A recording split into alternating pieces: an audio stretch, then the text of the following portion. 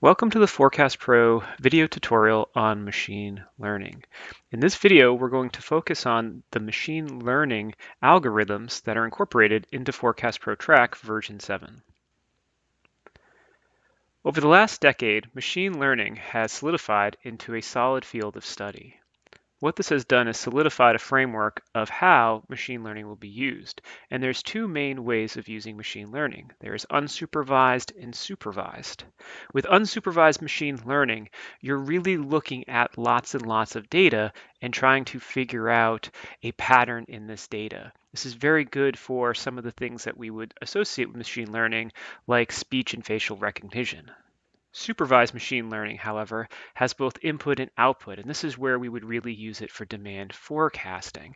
We want to be able to input historical data and we want to be able to output actual forecasts. And this is where we'll be focusing our effort in Forecast Pro.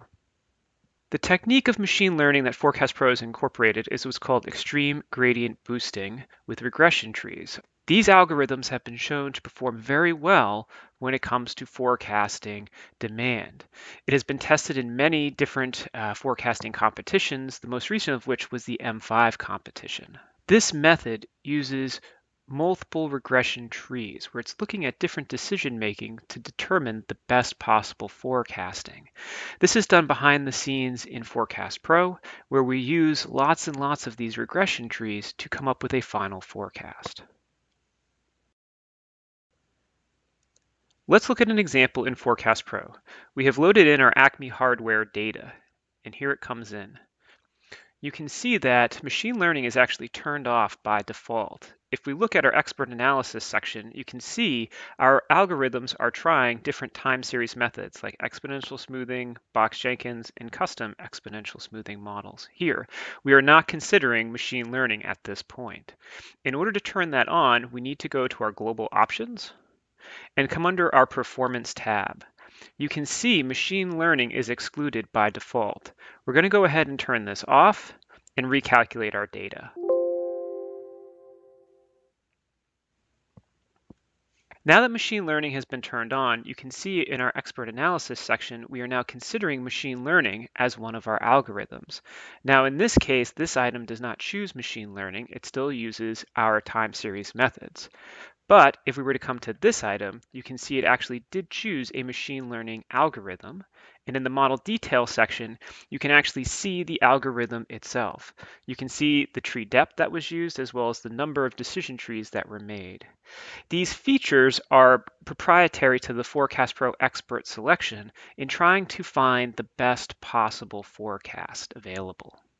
So when using machine learning as part of the expert selection system, Forecast Pro is going to try both time series as well as machine learning algorithms and pick which one it thinks is the best.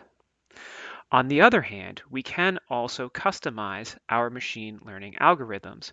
If we come up to the forecasting tab, you will see we have a machine learning section and we can pick automatic, the expert with machine learning, or manage. Let's take a look at what these actually mean. As we just saw, we had three options, automatic, expert with machine learning, and manage. With an automatic model, we are going to force a machine learning model. Forecast Pro will optimize what it thinks is the best model to generate the best possible forecast. The expert with machine learning is what we just looked at automatically. This will compare time series techniques to machine learning and pick which it thinks is the best. Manage allows you to build a custom machine learning model.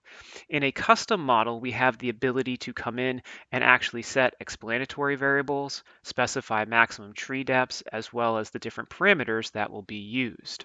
Let's take a look at this in our example.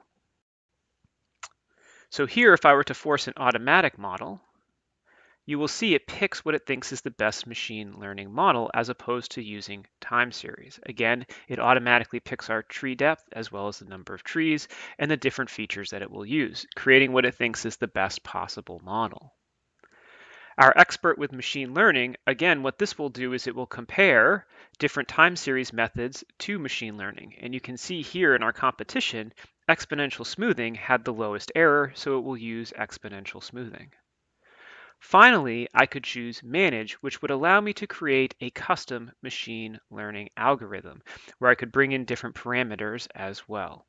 So again, I have different options using the machine learning algorithms to set up what I think will produce the best statistical forecast.